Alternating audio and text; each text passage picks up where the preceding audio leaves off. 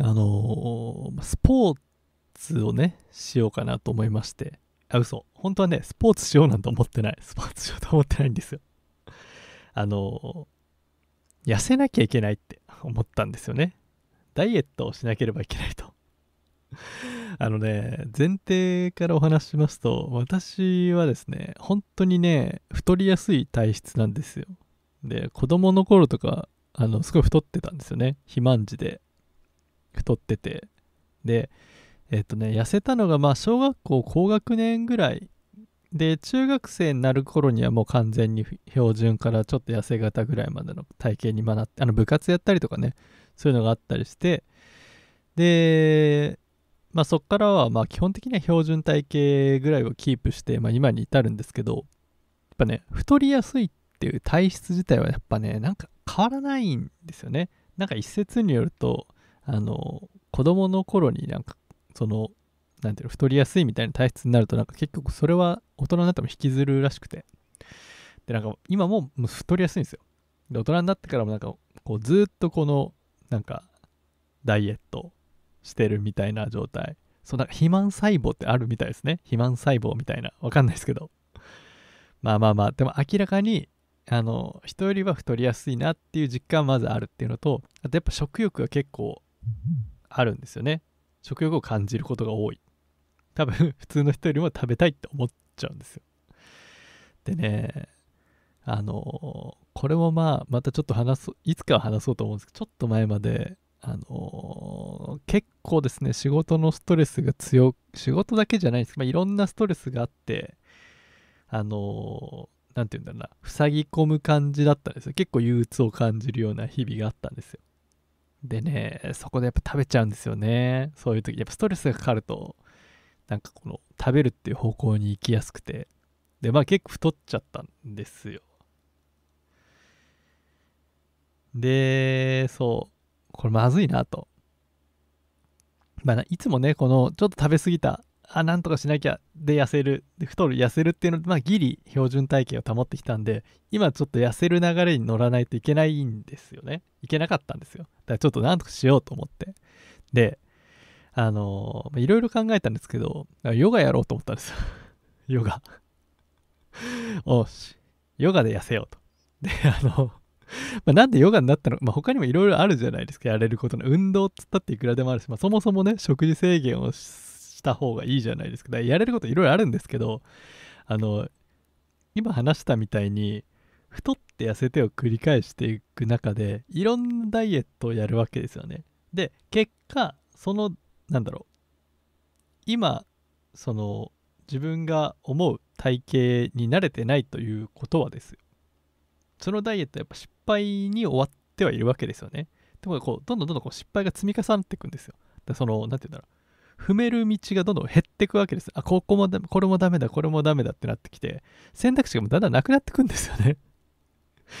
で、なんかいろいろ調べてたら、まあ、ヨガにダイエット効果がありますと。で、なんかこのヨガの運動だけで痩せるわけではないと。じゃあ、まあ、運動でそんな人痩せないじゃないですか。あの、消費カロリーってそんな多くないんで。で、その、ヨガで消費されるカロリーって別にそんな多くはないんですけど、その、呼吸とかをね、しっかりやることによって、その、ストレスケアになりますと。で、その結果、結果として、あの、その暴飲暴食が減って、体重減少につながるみたいなのを見たんですよ。なるほどと。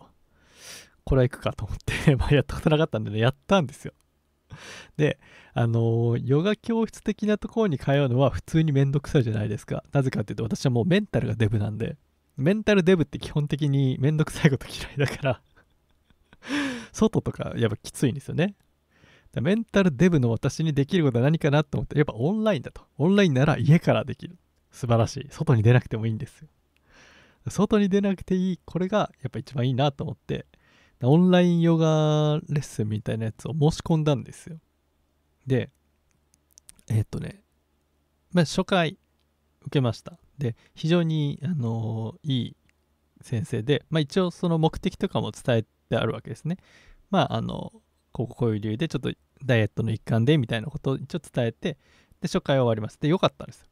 で、えっ、と、2回目も、えー受けました。でその時にまああの話し合って決めたことなんですけど、まあ、せっかくそういったねあのダイエットって目標があるのでそのダイエットの経過を見ていくとねいいんじゃないですかとで私からもまあ一応提案というかお願いみたいな感じでじゃああの、まあ、週に1回ぐらい受けたいのであの体重をこう毎日測ってでその記録みたいなやつをあのレッスンの時に一応提出してであの、まあ、今週こうでしたねみたいな感じで結果を見ていくっていう風にするとその一応ね目標に対して今どの辺にいるのかっていうのが分かるからこういう感じでやっていきましょうかみたいな感じになったんですよ。でこれはいいと。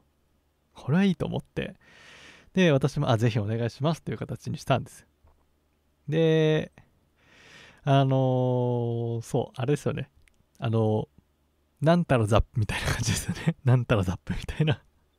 まあ、あの食事のね記録とかもそうそう細から取ったりとかそういうのはしないんですけど一応体重だけは測って記録しとこうって話になったんです。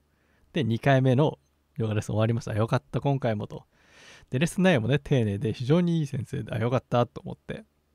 であの3回目ね受けようって思ってたんですけどその1回1回予約を取って受ける。予約を取って受けるっていう繰り返しだったんですけどそのね2回目から3回目までのあの間1週間空くじゃないですか。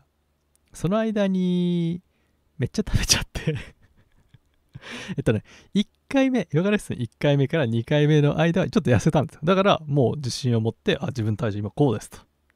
出せたんですけど2回目から3回目の間に太って罰が悪くなってあのー、3回目の予約できずに今日に至ります 2回目を受けたのはあの先月とかかな。はい。なんで、あのー、私のダイエット人生の中で、またね、一つ、失敗事例が分かったと、そういうことですね。いや、でもこれは違うんだよ。失敗じゃないの。うまくいかない方法が一つ明らかになったっていう、成功だから気まずくて、あの、それ以来ヨガはまやってません。なんかいいダイエット方法があったら教えてください